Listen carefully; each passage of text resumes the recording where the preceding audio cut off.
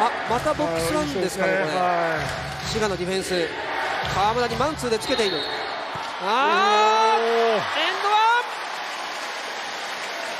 ワンはい、あの滋賀滋賀であの対策としてあのボックスワンを引いてると思うボックスワンだと思うんですけどね。はい。はい、残り1分切ります。福井からラベナ。金丸選手にはしっかりついてるんですよね。ただ決めてきました。さあここはミスマッチ。ですね、奥イン来る。あノルクルパス渡した。決めた。ラベナ。ラベナ今日2本目のスリー。ラソン・トーマスが取るサイドを変えて岡田太一下がりますスペースを作ります得意のスリーポイント決まったビュフォード対星野残り5秒で決まるのか？ビディン・ビフォードスリーポイント。劇的ブザービーターで島根が16連勝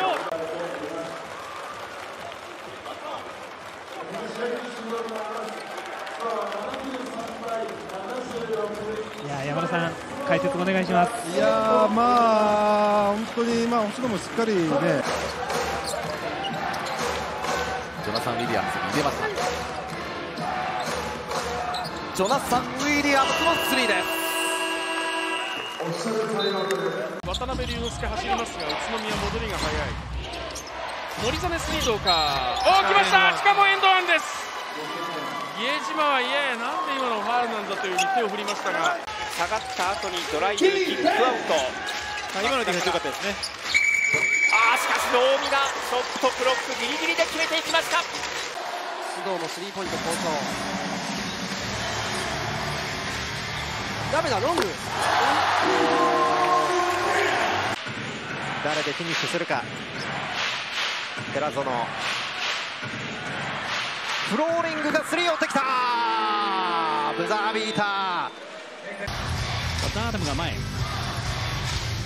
おっと2人がかりで小林をディフェンスったんですが。ああ決めてきたうわバスケットカウントになりましたからスリーポイント。いやここは集中力と執念押し込んできました原のスリーポイント。判定になってエンドインバウンス。ショットクロック1秒。あっとポイント入った鶴巻。